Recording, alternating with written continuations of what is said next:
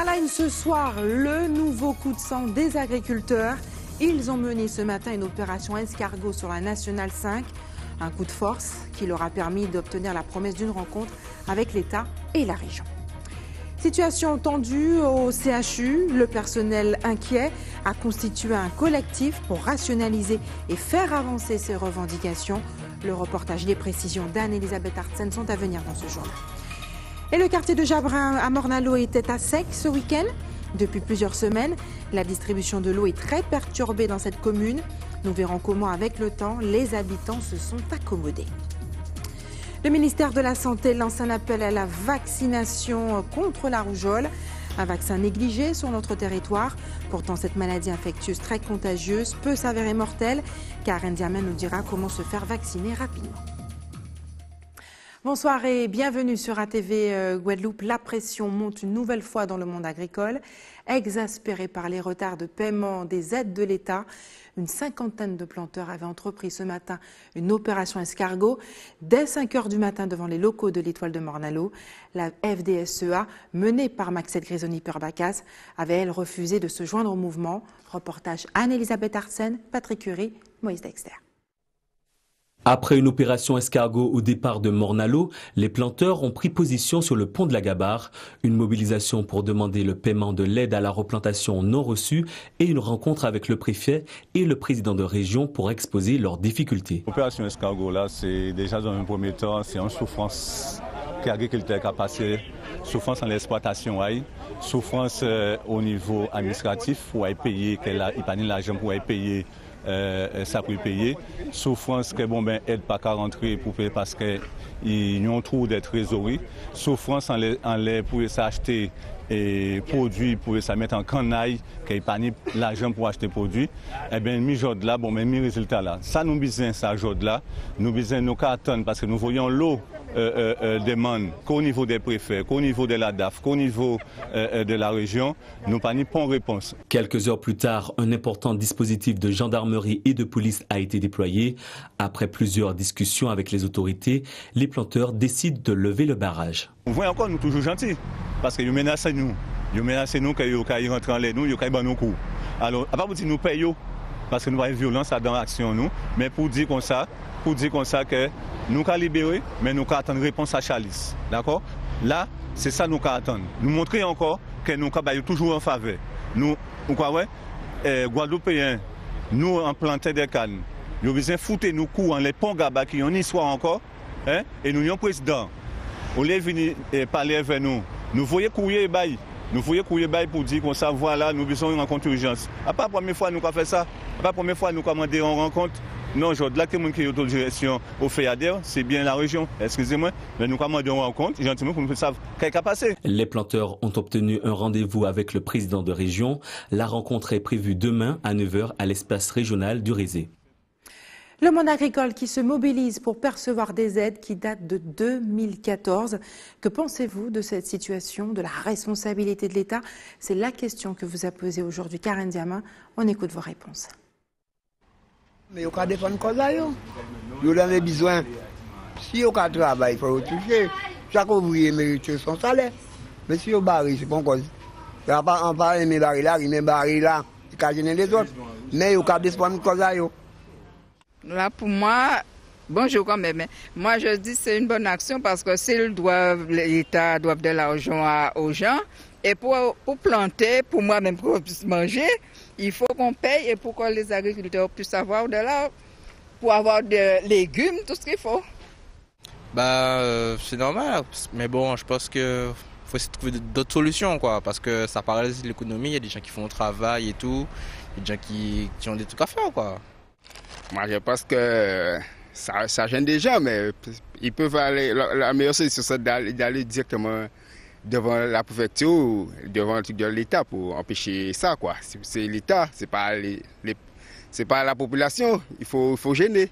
Je pense que c'est inadmissible ça, parce qu'ils attendent trop longtemps et seulement juste à la fin de la récolte, début de la récolte, qu'ils commencent à faire ça. C'est trop tard. Ils ont dû faire ça plus tôt, pas maintenant. Mais ah oui. Moi, je dis oui, ils ont raison de le faire. Parce que, autrement dit, s'ils ne le font pas, et toutes les dépenses qu'ils ont fait et pour accueillir ceux qu'ils ont plantés et tout, ils, n'ont pas de, de revenus.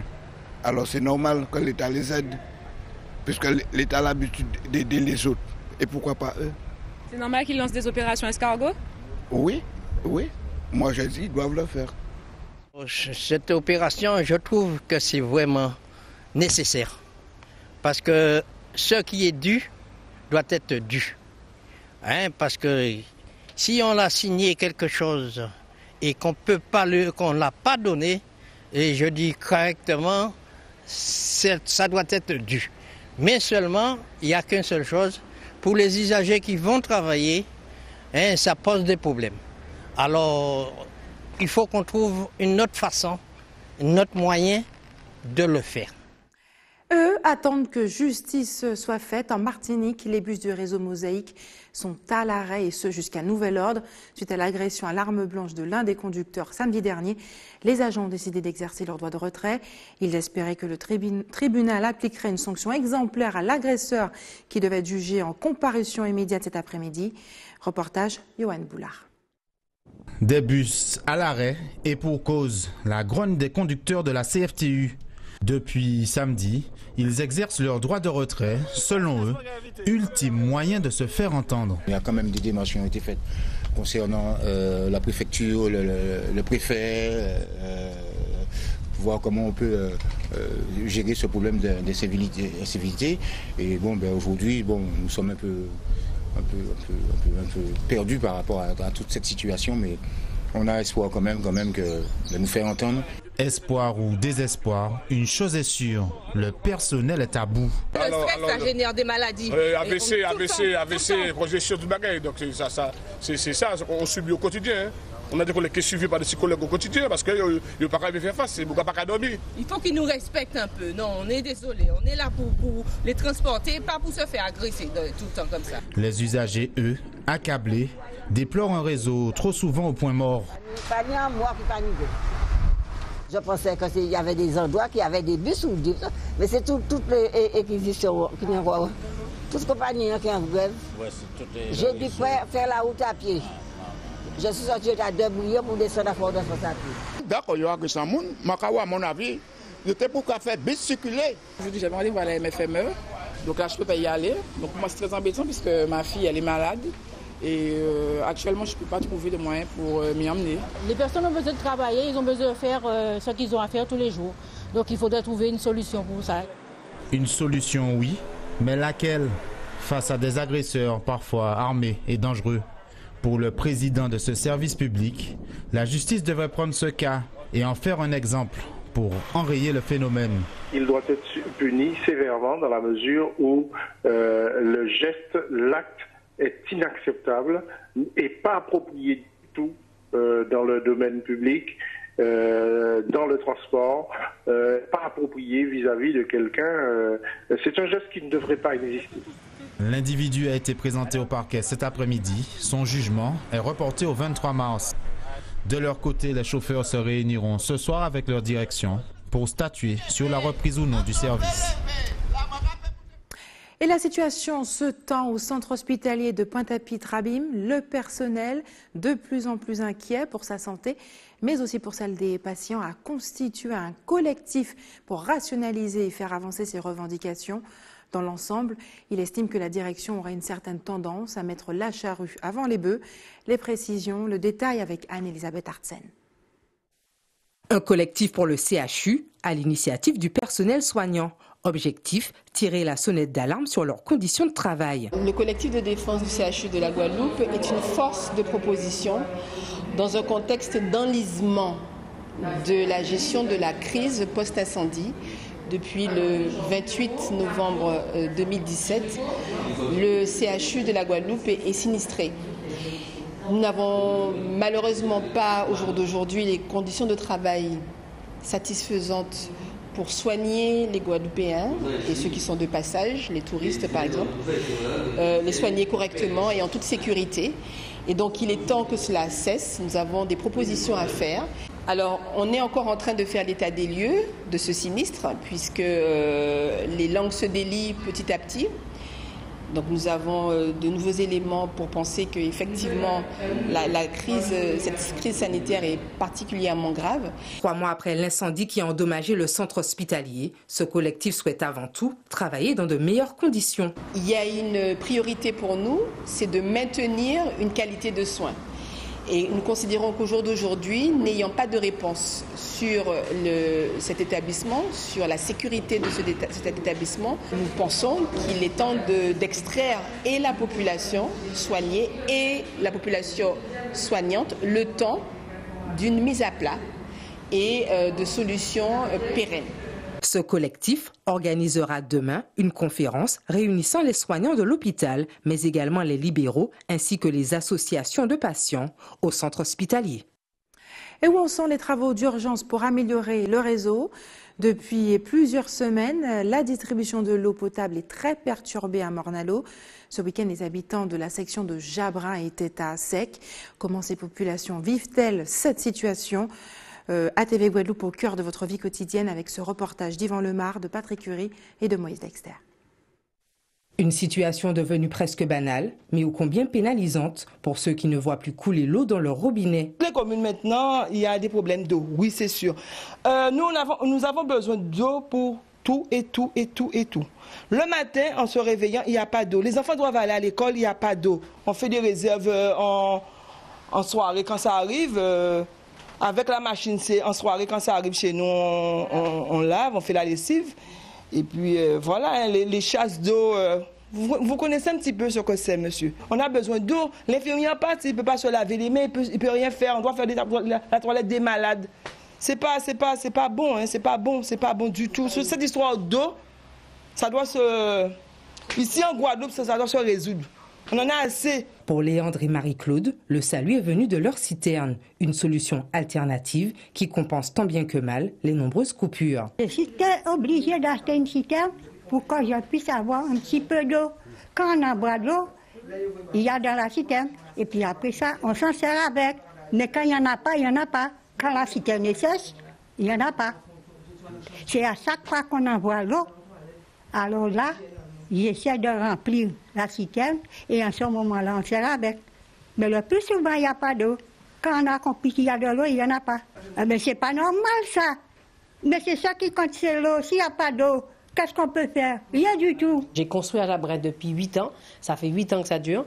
J'ai construit à Jabrin et je n'avais pas prévu dans mon devis, dans, dans ma construction, je n'avais pas prévu de citerne ça a été ma solution. Parce que j'ai vu que quand je venais en, chez ma maman, il y avait des coupures d'eau pour, à n'importe quelle heure, des coupures de non, non. C'est-à-dire qu'ils avertissent qu'il y a une coupure d'eau de 8h à 10h, elle va pas se faire. Et à 14h, on coupe l'eau. Comme dans de nombreuses communes de l'archipel, Mornalo n'échappe pas à la règle, obligeant ainsi ses administrés à faire preuve d'imagination pour voir couler l'eau dans leur habitation. Le département est-il un échelon de trop? Les conseillers départementaux veulent prouver en tout cas le contraire. Marcel Sigiscar et Sandra Anjaric ont présenté à la population les actions menées dans le cadre de leur mandat au conseil départemental vendredi dernier à la salle Georges Tarrer à Pointe-à-Pitre. Pour eux, ce bilan est une étape cruciale.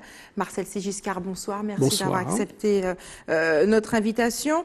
Alors, vous avez présenté à la population un bilan des actions menées au conseil départemental en tant que, conseiller. C'est un exercice peu habituel. Euh, quelles sont les raisons qui vous ont poussé à le faire? Écoutez, lorsque nous, nous, avons été élus, Sandra Anjaïk et moi-même, ainsi que nos colistiers, nous, nous étions engagés à rendre compte de notre activité, de nos activités euh, plus exactement au sein du département auprès de la population. C'est donc un premier bilan que nous avons fait en ayant euh, dans l'esprit de communiquer à la population et d'essayer d'être pédagogue en expliquant les compétences du département de façon générale, ce que fait le département. Est-ce une façon de valoriser l'intérêt d'avoir un conseil départemental encore en Guadeloupe? Absolument, puisque le département, nous sommes élus au suffrage universel, euh, nous représentons des cantons, mais nous représentons la Guadeloupe, et les actions du département sont essentielles actuellement sur le territoire de l'archipel ne serait-ce que par l'action sociale, au plus près des citoyens, mais également dans l'investissement. Vous venez parler de sujet d'eau. C'est le département qui investit le maximum dans les problématiques de l'eau à travers à la fois euh, le plan d'urgence et également aux côtés de l'Office de l'eau que j'ai le plaisir euh, de, présider. Donc le département a toute sa place actuellement au sein des, collectivités pour pouvoir répondre aux besoins tant journaliers, mais avec les perspectives de l'avenir. Ben, c'est également pour les collèges. Euh, sur le territoire de Pointe-à-Pitre, par exemple, nous avons quatre collèges qui euh, méritent attention et je rappelle que euh, le collège Michelet et le collège de Kermadec avaient eu des problèmes de restauration scolaire. Nous avons en toute concertation amené les enfants au collège Front de Mer pour la restauration. Et puis. Marcel Giscard, ce sont des compétences qu'une collectivité unique aussi pourrait très bien endosser. Ben, écoutez, pour, pour, pour qu'une collectivité unique puisse l'endosser, il faut qu'il y ait une démarche aujourd'hui qui n'est pas entamée actuellement. C'est ça, c'est ce que vous craignez, c'est cette démarche non, il y a Que le débat soit relancé? Ah non, pas du tout. Euh, puisque dans mon parti, nous, nous sommes pour une collectivité qui, qui embrasserait un certain nombre de, de, de compétences pour permettre d'avoir nos responsabilités, mais il s'agit aujourd'hui d'assumer des compétences qui sont partagées, et en particulier ceux du département, qui sont importantes dans la vie quotidienne des Guadeloupéens. Il nous appartenait à, à, Sandra Jacques et moi-même de rendre compte aux Guadeloupéens, en particulier au point 3, de nos activités en tant que conseiller départemental dans les différentes commissions que nous occupons pour pouvoir faire avancer les affaires des Guadeloupéens. Dans ces actions justement que vous avez répertoriées, 410 euh, millions d'euros alloués à la solidarité, c'est le fer de lance de toutes les façons du département, de l'action départementale. Sur euh, cette somme se trouvent aussi les dépenses liées aux assises euh, de l'outre-mer. Ont-elles été efficientes Les assises de la famille. De la Parce famille. que je rappelle, je rappelle Excusez-moi, je, je, voulais dire de la famille, vous avez bien compris. Tout à fait. la, présidente du département avait eu l'intuition et la bonne idée de lancer les assises de la famille quand elle a pris en charge les affaires du département. C'est des assises qui ont porté leurs fruits et qui porteront leurs fruits dans la mesure que les concertations que nous avons menées ont permis aux citoyens de se rencontrer dans différents points. Et aujourd'hui, nous sommes à la fin de, cette concertation. Un rapport d'étape va être établi d'ici le mois prochain et à partir de ces rapports, le département affinera euh, ses prérogatives, ses priorités, notamment par exemple dans la politique de la petite enfance, de la politique de, de l'handicap, dans la politique de l'habitat, puisque nous sommes en charge de l'amélioration de l'habitat, aux côtés des collectivités qui sont soit en rénovation urbaine, soit en Avec quelles mesures phares qu'on arrive à voir, avoir une idée un petit peu? Ben, tout d'abord, euh, par exemple, pour euh, l'habitat, c'est encore améliorer les, par exemple, le, pour les personnes âgées, l'adaptabilité de, leur appartement. Euh, nous étions partis sur le principe que les appartements individuels étaient à, adapter. Aujourd'hui, nous constatons que le besoin est aussi pour les appartements collectifs. Donc nous allons travailler avec les opérateurs euh, d'immeubles pour voir comment les personnes âgées puissent bénéficier de l'apport du département. Marcel Chisca, une question importante, c'est celle de l'eau. Vous l'avez dit tout à l'heure, 60 millions d'euros ont été investis pour les travaux d'urgence par le euh, département. Euh, là-dessus, le département a énormément d'ailleurs communiqué. Où en sont les travaux aujourd'hui? Est-ce que les appels d'offres ont été lancés? Alors aujourd'hui, il y a des travaux qui ont, qui ont commencé. Ben, c'est le cas par exemple de, de Baïf où nous allons livrer les deux usines, puis les réseaux que nous avons entamés. c'est également les travaux sur Saint-François, sur Petit Havre qui, ont, qui sont quasiment terminés. Nous avons également terminé sur euh, DE et nous allons encore continuer. Alors, s'agissant de la délégation que, euh, lors du, du plan d'urgence qui a été signé, c'est des travaux, et il faut que les collectivités nous donne euh, ce qu'on appelle la délégation pour que nous puissions lancer des travaux. Et un certain nombre de travaux qui étaient déjà lancés sur Capester, sur... Euh, Vous attendez encore d'avoir... Ah oui, parce qu'il y a encore d'autres travaux. Ah oui, parce qu'il y a encore d'autres travaux à faire pour Cette délégation n'a pas encore été accordée. Ah non, voilà, il y en a qui ont déjà été faits, il y en a qui, qui vont être faits. Bah, bah oui, parce que le plan, je rappelle que le plan des 71 millions a été adopté euh, il y a 15 jours. Euh, que sur, dans ce plan, il y a de nouveaux travaux qui nous, ont, qui nous sont demandés à la fois au département et à la région qui se sont engagés. Il faut que les collectivités délibèrent pour nous donner cette mission-là. C'est la règle. Et à partir de ce moment-là, nous allons pouvoir entamer ces, travaux-là et lancer les appels d'offres. Mais n'empêche que nous continuons pour ceux qui, ont, qui sont déjà commencés, notamment sur Petit Beau. Des travaux d'urgence qui débuteront dans bah, trois mois, six mois. Ah oui, c'est fort possible. Qui ne sont pas forcément d'urgence. Ah si, c'est d'urgence, mais vous C'est du moyen terme. Ah non, il y, a, des procédures quand vous avez, on, dit d'urgence parce que, euh, comme on, on l'a dit, c'est ce qui permettrait au minimum de pouvoir régler un certain nombre de problèmes, parce que vous n'êtes pas sans savoir qu'il y a des fuites particulièrement importantes à certains endroits. On a, on a, identifié les points, les, points, principaux. Il faut travailler dessus, et c'est ce qui correspond aux 71 millions. N'empêche qu'il faut des procédures, choisir les entreprises, et sauf si le gouvernement permet d'aller plus vite, mais n'empêche que ça ne diminuerait pas au moins le choix ou les critères nécessaires pour pouvoir choisir les bonnes entreprises au bon moment. Ce qui pourrait être intéressant, c'est de pouvoir multiplier les entreprises qui ont la capacité, c'est ce que nous avons fait au département, de pouvoir entamer très rapidement euh, les travaux. J'espère que nous aurons rapidement les autorisations des EPCI pour que nous puissions engager le plus rapidement possible dans l'intérêt des Guadeloupéens ces travaux.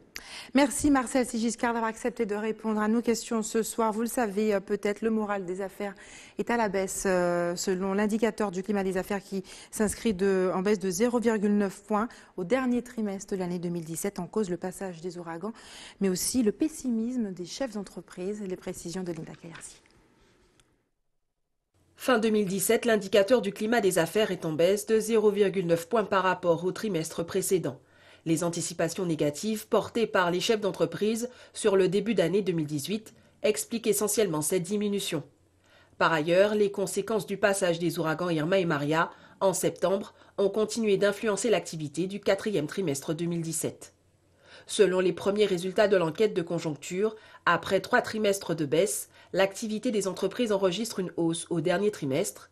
Toutefois, les chefs d'entreprise font état d'une nouvelle détérioration de leur trésorerie, impactée par l'allongement des délais de paiement et l'augmentation des effectifs.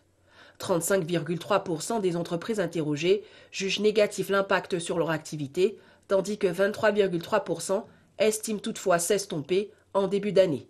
Selon 74,1% des entreprises, l'impact des ouragans serait nul sur leur activité du premier trimestre 2018. Les intentions d'investir pour les 12 prochains mois, exprimées par les chefs d'entreprise interrogés, demeurent toutefois favorablement orientées. Restez sur ATV euh, Guadeloupe dans quelques minutes. L'appel du ministère de la Santé à se faire vacciner contre la rougeole. Et puis, nous le verrons, on peut surfer sans vague. L'activité prend son envol sur, euh, non loin de la plage des Galbas à Sainte-Anne. Le ministère de la Santé demande à tous ceux qui n'ont pas été vaccinés contre la rougeole de s'exécuter. Un rappel qui fait suite à l'épidémie de rougeole qui sévit en ce moment dans plusieurs régions de France. Selon des études récentes, ici en Guadeloupe, ce vaccin est négligé. Pourtant, la rougeole est très infectieuse et peut s'avérer mortelle. Comment se faire vacciner? Réponse avec Karen Diama. Maladie virale, la rougeole se caractérise d'abord par l'apparition d'une forte fièvre la maladie, la rougeole, donc maladie virale, donc ça veut dire que ça se transmet par un virus, qui est le virus de la rougeole. C'est une maladie très contagieuse, qui se manifeste donc par beaucoup de fièvre, une espèce de grosse bronchite, de gros rhume, des enfants qui toussaient énormément, et qui, puis dans un deuxième temps, devenaient tout rouges, c'est ce qu'on appelle l'érythème de la rougeole, hein, des enfants tout rouges, très fatigués, des enfants qui, qui n'arrêtaient pas de tousser, avec donc souvent des complications respiratoires. Et la chose qu'on craignait le plus, et jusqu'à maintenant, c'est que ça n'attaque le cerveau, parce que là, ça devenait ce qu'on appelle l'encéphalite rougeoleuse. Pour guérir cette maladie, il n'existe aucun traitement. La seule prévention reste la vaccination. Alors, ce qu'il faut savoir, c'est que il n'y a pas de traitement, il n'y a pas de traitement euh, vraiment euh, étiologique, puisque c'est une maladie virale. On fait ce qu'on appelle un traitement symptomatique. On agit sur les symptômes, euh, la toux, le rhume, la fièvre, etc. Et c'est pour ça que je vous dis que c'était une maladie qui, quand elle atteignait le cerveau, là, ça devenait dramatique. C'était des hospitalisations avec les risques soit de mort, hein, de mort, des gens qui mouraient de rougeole, ou bien de complications graves, notamment aussi des complications infectieuses, puisque ça touchait les poumons. Et on a vu des enfants faire de grosses insuffisances respiratoires au cours des rougeoles. Il y a une quarantaine d'années, on commençait déjà à vacciner les enfants. Donc c'est un vaccin qui associe donc la lutte contre trois maladies, qui sont la rougeole, la rubéole et les oreillons. Hein, c'est un vaccin qu'on appelle triple, vaccin qui, protège contre trois maladies. C'est un vaccin qui se fait en deux injections. Une première injection vers l'âge de 1 an et une deuxième injection déjà deux à trois mois après. Quand l'enfant a pris ces deux injections, il est en général protégé pour la vie.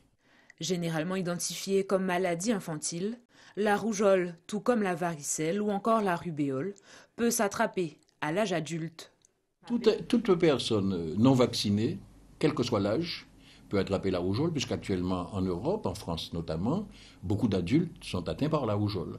Donc c'est une maladie qui n'a pas d'âge, c'est pas une maladie spécifique à la pédiatrie, spécifique aux enfants. Tout individu non vacciné peut attraper la rougeole. Et d'ailleurs, dans les pays où la rougeole sévit actuellement, les adultes sont très à risque parce que c'est souvent des gens qui n'ont pas été vaccinés, surtout avec les campagnes anti-vaccination actuelles. En France hexagonale, près de 400 cas de rougeole ont été déclarés depuis fin 2017. En Guadeloupe, aucun cas n'est à signaler pour le moment.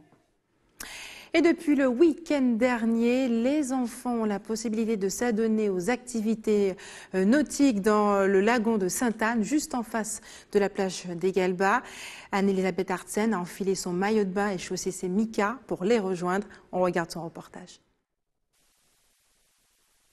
Quoi de mieux pour clôturer ses vacances de carnaval en beauté que de s'adonner au plaisir nautique? L'activité initiation voile, au début avec les optimistes, et une fois qu'ils ont peu aguerri, on peut leur proposer la planche à voile, surtout s'ils sont plus grands, parce que ça demande aussi une certaine stabilité, un certain équilibre, des notions d'équilibre. On propose des stages pour les vacances, chaque vacances scolaire, en planche à voile et en optimiste. Après, pas de stage en kayak, mais on propose l'activité kayak également. Les stages sont limités en moyenne à 10 personnes. Aujourd'hui, exceptionnellement, on s'est retrouvé en sureffectif, c'est-à-dire nous avons 15 enfants. Donc on a dû faire deux, demi-groupes et mobiliser des moniteurs pour la sécurité des enfants et pour l'apprentissage. Il y a les initiés comme Jaina qui découvrent le kayak et les navigateurs un peu plus aguerris, habitués à pratiquer ces activités. Ça m'intéressait à aller faire du kayak avec mes parents à Sainte-Anne et, euh, et nager avec, avec les trucs. Le kayak, c'est confortable, c'est super. J'encourage tout le monde à venir pour aller faire du kayak. J'ai choisi de faire ce stage parce que l'optimiste est un sport qui me passionne et j'adore le moniteur, il est très sympa et tous mes amis sont là. J'en ai déjà fait, j'ai envie d'avoir plusieurs niveaux pour euh, être plus à l'aise sur l'eau. J'ai décidé de faire ce stage parce que j'aime l'optimiste. La base nautique de Sainte-Anne accueille donc ses enfants dès 6 ans, à condition qu'ils sachent déjà nager pour ces stages en optimiste ou en planche à voile qui se déroulent à chaque vacances scolaires. Et ils ont de la chance, ces vénards. C'est l'heure des informations pratiques euh, maintenant. Faites des réserves d'eau si vous habitez à Sainte-Anne. Les coupures sont prévues chez vous demain soir de 20h avec un retour à la normale prévu le lendemain à 6h du matin. Et puis l'équipe de l'établissement français du sang vous donnera rendez-vous demain à la mairie de Bouillant toute la matinée. Et enfin, si vous avez des informations à nous communiquer, n'hésitez pas à nous appeler à la rédaction d'ATV Guadeloupe au 60 11 deux fois. Voilà, c'est la fin de notre édition locale et régionale. Avant de se quitter, je vous rappelle les principaux titres de ce lundi 19 février. Nous l'avons vu ce soir, le nouveau coup de sang euh, des agriculteurs. Ils ont mené ce matin une opération escargot sur la nationale 5, paralysant le trafic sur le pont de la Gabarre. Un coup de force qui leur a permis en tout cas d'obtenir la promesse d'une rencontre avec l'État et la région.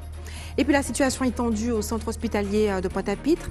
Le personnel, de plus en plus inquiet pour sa santé et pour celle des patients, a constitué un collectif pour rationaliser et faire avancer ses revendications.